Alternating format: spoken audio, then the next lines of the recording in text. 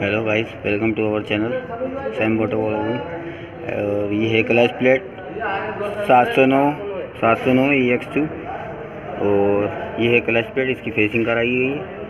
ये प्रेशर की प्लेट है, इसमें पॉलिश कराया गया है।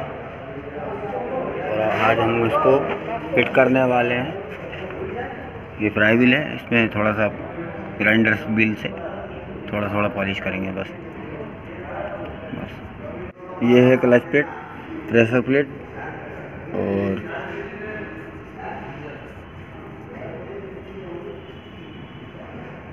ये है फ्राई व्हील। ये फार्क है। अब इसको अपन सेट करने वाले हैं। ये प्रेशर प्लेट सेट हो गई। टॉप गियर डाल के क्लच प्लेट और प्रेशर प्लेट फंसा